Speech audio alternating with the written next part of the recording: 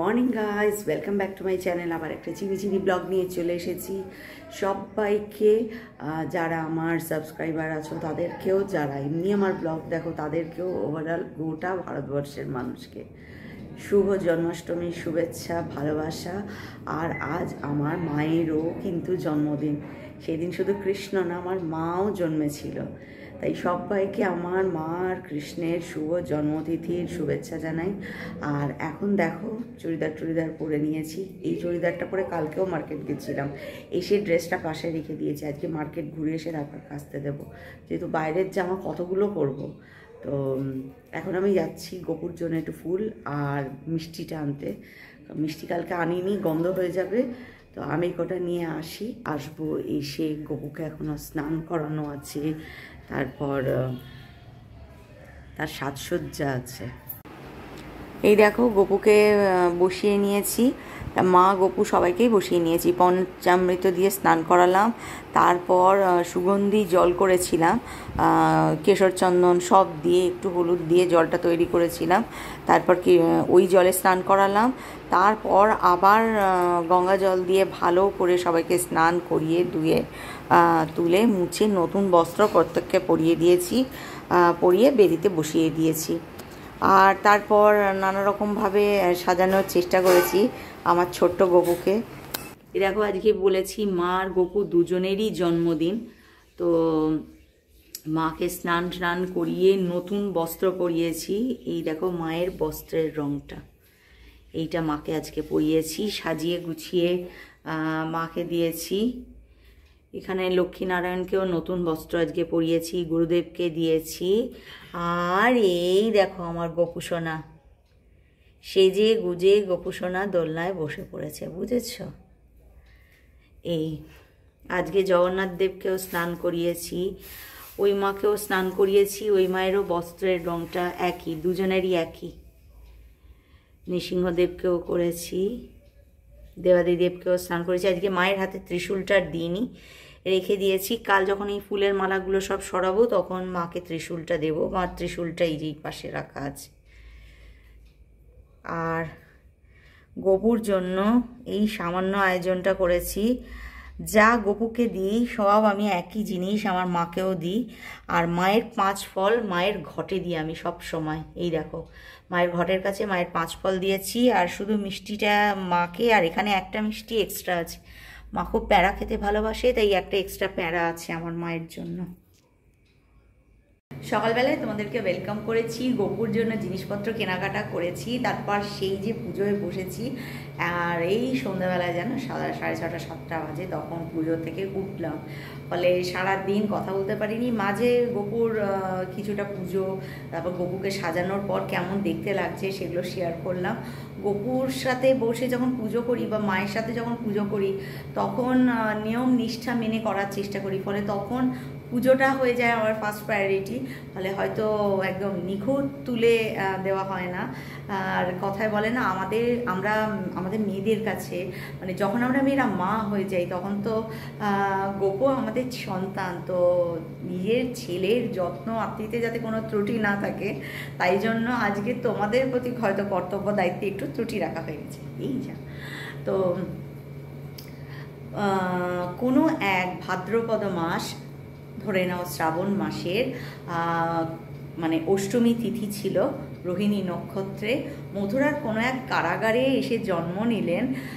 অজ্ঞানরূপী অন্ধকার নাশনকারী ষোলো কলায় পরিপূর্ণ শ্রী শঙ্খচক্র গদা পদ্মধারী শ্রীকৃষ্ণ রূপে। তারপর নিজেই নিজের সমস্ত ব্যবস্থা উনি করে রেখেছিলেন। তো যখন মথুরায় কৃষ্ণের জন্ম হবে অষ্টম গর্ভে দেবকীর তখন কৃষ্ণ তাদেরকে তার আগে দেখা দিয়েছিলেন। দেবকী জানতেন না, উনি কৃষ্ণের কাছে প্রার্থনা করেছিলেন, কৃষ্ণ যেন তার পুত্র রূপে জন্ম নেয়। তাদের তপস্যায় তুষ্ট হয়ে স্বয়ং শ্রীকৃষ্ণ তাদেরকে বরদান দিয়েছিলেন যে তিনবার উনি ওনাদের পুত্র রূপে জন্ম নেবেন। একবার উনি এসছিলেন কৃষ্ণী রূপে, একবার উনি এসছিলেন বামন অবতারে যখন রাজা বলির দর্পহরণ করেছিলেন। আর তৃতীয়বার কৃষ্ণরূপে জন্ম নেবেন যখন অজ্ঞানরূপী অন্ধকারকে নাশ করে কংসকে ধ্বংস করবেন। জগৎকে রক্ষা করবেন জগৎতারণ তো এই তিনবার উনি দেবকীকে মাতৃত্বের স্বাদ দিয়েছিলেন। তো আমরাও প্রতিবার হয়তো এই জন্মাষ্টমীতে গোপুর সেবা করে কি জানি হয়তো সেই মাতৃত্বের স্বাদের একটুখানি ভাগ আর কি। বিশাল বড় সমুদ্র তো তার মনটা সেখান থেকে এতটুকু সেই স্বাদের ভাগ নিতে চাই। ভাগ নিতে গিয়ে এতটাই বিভোর হয়ে গেছি যে আমি পুরো একদম ডিটেলসে পরপর সবটুকু দেখাইনি। নাম স্তোত্র যেটা আছে সেটা পাঠ করব। তো এগুলো এখনও করব, ফলে আমি এখনও কিছু খাইনি। আমি একটুখানি গোপুকে একটু মিল্কশেক দিয়েছিলাম। তো গোপুর প্রসাদের ওই মিল্কশেকটাই একটু গলায় নিয়েছি। তারপরে ভাবলাম তোমাদের সাথে একটু কথা বলে নিই। তারপর বসবো। কি? জীবনে যত পাপই করো না কেন, যত ভুল ত্রুটি তুমি করো না কেন, যদিও সব পাপের হিসাব ওখানে তোলা থাকে, তাহলেও বলে, কৃষ্ণ নাম করলে নাকি সব পাপ নাশ হয়ে যায়? জানি না গো, আমি কখনো ট্রাই করিনি, কারণ কতটা পাপ আর কতটা পুণ্য সে তো চিত্রগুপ্তের খাতায় থেকে গেল। আমার তো মনে হবে সবসময় আমি পবিত্রই আছি। তো, যদি কিছু থেকে থাকে যদি তোমরা বলবে বেরিতে আমার মা বসানো আছে, আমি মা ময় আমি। আমার কাছে আমার মাই পৃথিবী, আমার মাই সব তেত্রিশ কোটি দেবতা আমার মার মধ্যেই বিরাজমান। তাহলেও ছোটোবেলায় জানো তো, আমার বাবার বাড়ি হচ্ছে নারায়ণ ভক্ত আর কি, নৃসিংহদেবের পুজো হয়। নৃসিংহদেব শালগ্রাম শিলারূপে আমাদের কুলদেবতা হয়ে আমার বাবার বাড়িতে প্রতিষ্ঠিত। ফলে নারায়ণের প্রতি হয়তো একটা দুর্বলতা আমার ছোট থেকেই আছে। তো সেই কারণে আমার ওনাকে সত্যিই খুব ভালো লাগে। কৃষ্ণ নাম অদ্ভুত, মায়াময় একদম। তো তোমাদেরকে একশো আট শতনাম স্তোত্র পাঠ করে ওতে অবশ্যই শোনাবো। চলো শুরু করি কৃষ্ণ অষ্টোত্তর শতনাম। জয় জয় গোবিন্দ গোপাল গদাধর, কৃষ্ণচন্দ্র কর কৃপা করুণা সাগর। জয় রাধে গোবিন্দ গোপাল বনমালী, শ্রীরাধার প্রাণধন মুকুন্দ মুরারি। হরি নাম বিনে রে ভাই, গোবিন্দ নাম বিনে। বিফলে মনুষ্য জন্ম যায় দিনে দিনে। দিন গেল, মিছে কাজে, রাত্রি গেল নিদ্রে। না বুঝিন রাধা কৃষ্ণ চরণার বৃন্দে। কৃষ্ণ ভুজিবার তরি সংসারে আইনু মিছে মায়ায় বদ্ধ হয়ে বৃক্ষ সম হইন। ফল রূপে পুত্র কন্যা ডাল ভাঙি পড়ে কাল রূপে সংসারেতে পক্ষ বাসা করে।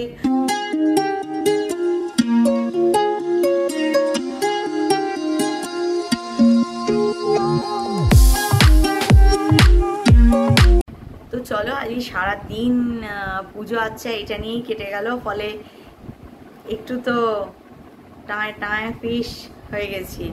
শুধু বোধহয় গপু আর মায়ের আশীর্বাদ যে আমি এখনও বক বক বক বক বক বক করে যাচ্ছি, বুঝেছ তো? বকাটা ওই একদিনেই শেষ হবে আর কি। তার আগে অব্দি বকা মনে হয় বন্ধ হবে না। বকতে কোনো ক্লান্তি নেই, আমি শুধু ভাবি। তো যাই হোক আজকের দিনটা খুব সুন্দর সেলিব্রেট করেছি। মন খুলে আমি গপুকে স্নান করিয়েছি। প্রাণ, মন খুলে মাকে স্নান করিয়েছি। তোমাদেরকে শেয়ার করলাম না? আজকের এই রাতে শুধু গপু সেদিন জন্মায়নি। আজকের এই কৃষ্ণপক্ষের রাতে কিন্তু কৃষ্ণাষ্টমীর দিন আমার মাও জন্মেছিল গোকুল লীলায় সাথ দিতে। তাই জন্য মাকে আজকে ঠিকঠাক করে না করলে মন যেন আমার সায় দেয় না। তো চলো, আর হচ্ছে কৃষ্ণ জন্মাষ্টমীর দিন উপোস করবে উপোস যদিও না করো গোপালকে মনে মনে স্মরণ করবে, প্রণাম করবে, কারণ উনি হচ্ছেন সব থেকে বড় অজ্ঞান নাশনকারী, অন্ধকার দূর করতে উনি আবির্ভূত হয়েছিলেন পৃথিবীতে। আমিও গোপালকে প্রার্থনা করেছি। করোনা নামক এই বিভৎস মার্কা ওষুধটাকে মেরে একদম পৃথিবী ছাড়া করে দাও। যাতে আমাদের বাচ্চাগুলো খুব সুন্দর হাসি খুশি হয়ে বাঁচে, আমরাও ঘর থেকে বেরিয়ে একটু প্রাণ খুলে বাঁচতে পারি।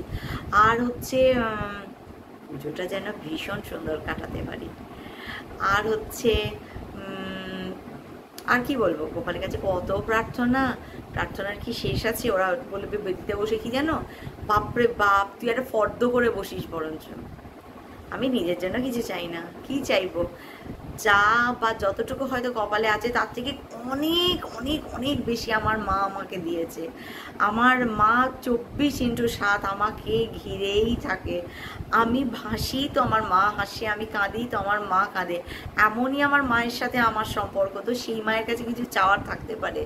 আমি যদি কাঁদি, আমার মা ঠিক দৌড়ে চলে আসে, আমার প্রার্থনা শুনে যে আমার মেয়েটা কাঁদছে, আমার কান্না মানে আমার চোখের জল মোছাতে বলতে পারো। আমার সাথে ওই সর্বশক্তি, ওই আদি শক্তির সম্পর্ক কিন্তু ভক্ত আর ভগবানের নাম, মা আর মেয়ে, বুঝেছ? তো, আমার বাড়িতে গোপালের আসাটা কীভাবে জানো আমি গোপালকে কিন্তু আনিনি। আমি একবার তোমাদের সাথে গল্প করেছি, শ্বশুর শাশুড়ির সাথে আমি পুরী বেড়াতে গেছিলাম। তো পুরী থেকে সবার সব কেনাকাটা হয়ে গেছে, শাশুড়ি মা কিছু নেয়নি। তা আমি মাকে বললাম, এবার আপনি বলুন, সবশেষে আপনার পালা আপনি কি নেবেন? তখন বলল, একটা জিনিস বলব, কিনে দেবে, তোমার বাবা মনে হয় দেবে না। আমি বললাম, বলুন না, কি লাগবে? বলে আমাকে একটা গোপাল কিনে দেবে। তুমি এক জায়গায় থাকো, দিদি এক জায়গায় থাকি, আমি একা থাকি, আমি তাহলে গোপালের পিছনেই আমার দিনটা কেটে যাবে। ঠিক আছে, তোমরা যারা পুরী গেছো তারা জানো প্রণবানন্দ আশ্রমের নিচে একটা ছোট্ট দোকান আছে, আশ্রমেরই দোকান ওটা। ওখানে সবটুকু মানে একদম নিখাত, ভালো জিনিস পাওয়া যায় যাকে বলতে পারো। ওইখানেই আমরা গেলাম গিয়ে ওখানে আমরা গোপাল কিনে আনলাম। আমার হাজব্যান্ড আমার শাশুড়ি মাকে কিনে দিলেন। এত বড় ছিল জানো গোপাল, এত বড়। এরম গোল গোল নধর হাত একদম। তো মা সারা দিন গোপাল নিয়েই থাকতো। মা দুর্গাপুর আমাদের কাছে গেলেও গোপালকে নিয়ে যেত। মা যদি পণ্ডিচারী আশ্রমে এক মাস গিয়ে থাকতো, সেখানেও মা গোপালকে নিয়ে যেত। একবার কোনো এক কারণে মা পণ্ডিচারী যাবে হোপফুলি মায়ের মনে হয় আমাদেরকে বলেনি, আমরা পরে জানতে পেরেছিলাম। পন্ডিচারি গিয়ে মা দুটো চোখের অপারেশন করিয়েছিল। তো মা জানতো হাসপাতাল ঘর করবে, গোপালের যত্ন কে করবে? তো মা আমার বাড়িতে গিয়ে গোপালকে আমাকে দিয়ে এসে বলল, গোপালটাকে তোমার কাছে দুদিন রাখো। তারপর দিদি একটা কাজে ব্যস্ত আছে, দিদি এসে গোপালটা নিয়ে যাবে। ঠিক আছে? এবার বাড়িতে যখন গোপাল গিয়ে আসনে বসল, আমার খুশির কি আনন্দ? খুশির তখন আড়াই তিন বছরের মেয়ে। আড়াইও ওই দু আড়াই বছরের মেয়ে। ও তো গোপালকে দেখে গোপুদাদা দাদা, গপু দাদা চব্বিশ ইন্টু সাত, একবার করে যায়। আমার সিংহাসনটা দুর্গাপুরের মাটি থেকে একটু উঁচুতে ছিল। ও দুটো পা তুলে এরম করে দেখে আসে গোপুদাদা খেলো নাকি? গোপুদাদা শুলো নাকি? গোপুদাদা দাদা আজ কোন ড্রেস পরবে? এরকম মানে গোপু গোপু করে ওর দিনটা কেটে যেত। এমনই একদিন সন্ধ্যাবেলায় সন্ধ্যায় না, আমি গোপালকে স্বয়ং দিয়ে দিয়েছিলাম। আমার ননদ গেল, বলল, গোপালকে তো মা আমার কাছে নিয়ে যেতে বলেছে, তাহলে আমি গোপালটাকে নিয়ে যাব। তো আমাকে বলল, তুমি গোপালকে তুলে দাঁড়ালাম দিদি, আমি তো শয়ন দিয়ে ফেলেছি। তাহলে তুমি ডেকে তুলে গোপালকে নিয়ে নাও। তো দিদি গোপালকে নিয়ে বাড়ির উদ্দেশ্যে যখন রওনা দেবে, তোমরা বললে বিশ্বাস করবে না, খুশি পাগলের মতো কাঁদছে। ওরা ওদের পিসিকে পিসুন বলে ডাকে। পিসুন, তুমি গপু নিয়ে যেও না। পিসুন, তুমি গপু নিয়ে যেও না। দিদিও বলল, এরপর আর দিদির আসার টাইম হবে না, যে গোপালকে পরে এসে নিয়ে যাবে। ফলে ননদও গোপালকে নিয়ে যাবে আর খুশি গোপালকে যেতে দেবে না। পিসির পা ধরে কান্নাকাটি, মেঝের মধ্যে আচার কাচার। আমার নন্দাই বলল, আমি আবার একদিন তোমাকে নিয়ে আসব, কিন্তু খুশি এত কাঁদছে, তুমি গোপাল রেখে যাও। দিদির খুব গুরুত্বপূর্ণ হয়তো কোনো কাজ ছিল, যে দিদি সেদিন গোপালটাকে মানে এর পরে এসে গোপালটাকে নিয়ে যাওয়া দিদির পক্ষে সম্ভব ছিল না। ফলে দিদি মানে সেই সব কিছুকে বলতে পারো ওভারলুক করেই নিয়ে তাকে যেতে হয়েছে বাধ্য হয়ে। তো দিদি গোপাল নিয়ে যেমন চলে গেল, তেমন হচ্ছে খুশির পাগলের মতো কান্না। আমরা খুশির কান্না বন্ধ করতে পারছি না। আমার নিচের তলার ফ্ল্যাটের লোকজন, পাশের ফ্ল্যাটে সবাই আমাকে নিচ থেকে জানো ডাকাডাকি করছে। কেন মুনমুন? ওরা সবাই দুর্গাপুরে মুনমুন বলে ডাকতো। মুনমুন, কেন তুমি খুশিকে মারছো? তুমি কি খুশিকে মারলে? খুশি এত কেন কাঁদছে? আমি আমার নেমে গিয়ে সবাইকে বললাম, তখন আমাদের নিচে এক মাসিমা থাকতেন আর ঠিক মাসিমার পাশেই একটা বৌদি আছে, ওরা বললে, একটা কাজ করো, তুমি আর একটা গোপাল নিয়ে এসো। ওর নালে কান্না, ও তো অবুঝ, ও তো শিশু, ও বুঝবে কেমন করে। তখন ধরো দশটা দুর্গাপুরের বাজার টাজারগুলো এমনিই বন্ধ হয়ে যায়। তো আমার হাজব্যান্ড আমার বড়টাকে পিছনে আর ছোটটাকে সামনে দাঁড় করিয়ে দুর্গাপুরে ওখানে চণ্ডীদাস বাজার আছে, তো ওখানে গেল। তো চণ্ডীদাস বাজারের যে ভদ্রলোকের কাঁসা পিতলের দোকান ছিল, তার দোকানটা সে শাটারটা নামিয়ে দিয়েছে, একটু খোলা রেখেছে, কারণ ভিতরে বসে সে হিসাব করছিল। আমি অনেক সময় প্রচুর ঠাকুরের জিনিস তার কাছে কিনেছি, ফলে আমাদেরকে সে চিনত। তো আমার হাজব্যান্ড গিয়ে ডাকলো, ডেকে বলাতে, উনি একটি এইটুকানি, ছোট্ট একদম মানে বোঝাই যাচ্ছে না গোপালকে এনে মানে আমার মেয়েকে, আমার হাজব্যান্ড কিনে দিল। খুশির তো পছন্দ না। সেটা এত বড় নধর গোপাল দেখেছে। পরদিন আবার সকালবেলা আমি গেলাম। গোপালকে আমি বললাম, এই গোপালটা নেব না। আমাকে মাঝারি সাইজের একটা দেখান। তখন আমার গোপু ওখানে আমাদের জন্যই বোধহয় অপেক্ষা করছিল। তো গোপুকে ওখান থেকে নিল। তারপর আমরা গোপু নিয়ে বাড়ি আসলাম। বাড়ি এসে এবার গোপাল সেবা অনেক কঠিন কাজ। আমি দুটো বাচ্চা সামলে কি করে করব দুর্গাপুরে? আমিও চিন্তায় পড়ে গেলাম। তো পন্ডিচারি আশ্রম থেকে আমার শাশুড়ি মা আমাদেরকে একবার করে দিনে ফোন করতেন। তো উনি ওরকম ফোন করে গল্প করছে করতে করতে আমি মা বললাম জানেন মা দিদি নিয়ে যাওয়ার পর এরকম প্রচণ্ড কান্নাকাটি করেছে। তো আমি বাধ্য হয়েছি কি, একটা গোপাল নিয়ে আসতে। আমি আসনে পাতবো না। আপনি তো বাড়িতে গোপালকে রেখেছেন তো আমি আর পাত- পাতবো না। আমার শোকেশে সাজিয়ে রাখব যেটা দেখে খুশি ঠান্ডা থাকবে। তখন আমার শাশুড়ি বললেন, এতটা, আমার শাশুড়ি আমার দুই মেয়েকে বড়টাকে ডাকে তাতা, ডাকতেন। তাতাই আর ছোটকে ডাকতো তুনাই। তো বলল, এত কাঁদলো জোরে, কিন্তু কেন ও নিয়ে গেল? আমার ননদের কথা আর কি। ও কেন নিয়ে গেল? কেন একটা দিন ও রাখতে পারল না? তারপর দিদিকে তো প্রচণ্ড বকাবকি করল। করার পর বলল, তুই যে গোপাল নিয়ে গেছিস, ওই গোপাল সারা জীবন তোর কাছেই থাকবে, ওই গোপাল কোনোদিন আমি আর আমার বাড়ি আনব না।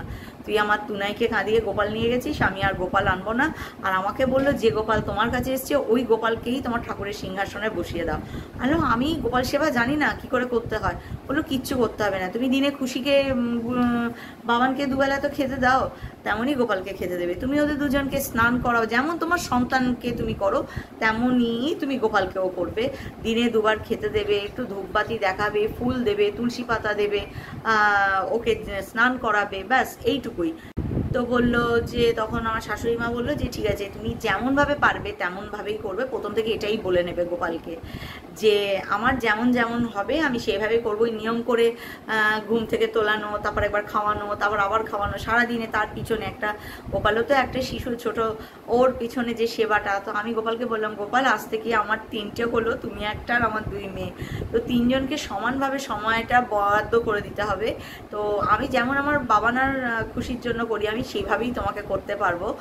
ওরকম খাওয়া দুবেলা মানে সন্ধ্যাবেলা একবার আর দুপুরবেলা যখন পুজো করব সেরকম। ব্যাস বাইরে তো আমি সেভাবে নিষ্ঠা করে গোপাল সেবা করতে পারব না। তো বলতে নেই আমার গপু আমার পুজো সেভাবেই নিয়েছে জানো? আমার গপু আসাও আমার খুশির জন্য বাবান আহ, বাবানার খুশি নিয়ে এসেছিল গপুকে। তো তারপর থেকে ওইভাবেই দুবেলা যেমন শাশুড়ি মা আমাকে বলে দিয়ে গেছেন ওইভাবেই গোপাল সেবা আমি করি ওনার আদেশ অমান্য করিনি। তো ওই করতে করতে কখন গোপাল যে মানে আমি গোপাল সেবা করব এটা তো কখনো ভাবিনি। তো করতে করতে কখন যে গোপাল সে বলে না আমার আপন হয়ে গেছে। আমি একবার এরকম শুয়েছিলাম, আমি স্বপ্ন দেখছি। আমি যেন ঘুমিয়ে আছি ঘুমের মধ্যে স্বপ্নে দেখছি যে ঘরে অনেক বাচ্চারা দৌড়াদৌড়ি করছে। এমন সময় একটা ছোট্ট বাচ্চা হাতে সব সোনার গয়না পরা, এইখানে একটা শিখি মতো বাঁধা আর কি, খোপার মতো বাঁধা চুলটা এখানে। আর গায়ে কোনো বস্ত্রই তার নেই। হামাগুড়ি দিয়ে দিয়ে আমার এই বেডরুমের এই দরজার সামনে বরাবর দাঁড়িয়ে আমাকে একভাবে ডেকে যাচ্ছে। আমি তো ধর্মর করে উঠে পড়েছি। উঠে দেখি কেউ কোথাও নেই আমার হাজব্যান্ডকে ডাকছি। আমার হাজব্যান্ড বলছে, তা না, তুমি সব সময় মাতারানি ঠাকুর, এই চিন্তা করো, তাই গোপাল আর তোমাকে ছেড়ে মনে হয় থাকতে পারেনি। গোপাল তোমাকে এসে দেখা দিয়েছে। তোমারকে মানে তুমি যেমন দিচ্ছ, তেমন জিনিসটাতেই গোপাল বোধহয় সেদিন আমাকে সায় দিয়েছে। তো এইভাবেই আমি গোপাল সেবা করি। আর আমার কাছে গোপালের আশা এইভাবেই। তো চলো, অনেকটা রাত হয়ে গেল। দেখো, আমার রাতের চুলও বাঁধা হয়ে গেছে কমপ্লিট কারণ আর শরীর টানছে না। মুখে আমি সেরাম ক্রিম সব নিয়ে নিয়েছি। এইবার জাস্ট নিজের জায়গাটাকে সাইড করে দেবো এগুলোকে। এগুলো যা করে করুক, পড়াশোনা করবে, শুনছি বাবার রাজ্যকে একটু। তা আমি বলছি, যে যা করবি কর, আমাকে একটা কর্নার ছেড়ে দে। আমি একটুখানি একদম ডিপ স্লিপ কারণ নালে সকালে উঠতে পারব না। আজ সারাদিন একদম উপোস ছিলাম। তো ফলে শরীরটা একটু টায়ার্ড লাগছে, একটু ক্লান্ত লাগছে। এমনি আমি পুজোর পর ফল মিষ্টি খেয়েছি। তো আশা করি তোমরাও আজকে সারাটা দিন ভীষণ আনন্দে কাটিয়েছ। আজকে দিনটার খুব মাহাত্ম, খুব পূর্ণ বলে ঠাকুরের কাছে তুমি যা চাইবে তাই পাওয়া যাবে। সবসময় যে ঠাকুরের কাছে কিছু চাইতে হবে, এর কোনো মানে নেই। ভগবানের কাছে কিছুক্ষণ মুহূর্ত, কিছুক্ষণ সময় শুধু তার জন্যই নিজেকে নিবেদন করে দেওয়া মনে হয় ভালো।